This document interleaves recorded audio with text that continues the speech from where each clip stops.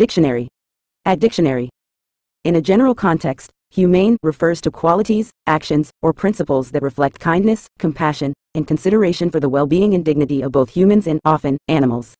It emphasizes treating others with empathy and respect, avoiding unnecessary suffering or harm, and upholding ethical standards in various aspects of life.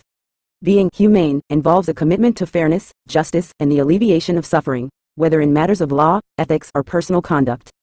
This term underscores the importance of empathy and moral values in our interactions and decisions, emphasizing a commitment to minimizing harm and promoting the welfare and dignity of all living beings.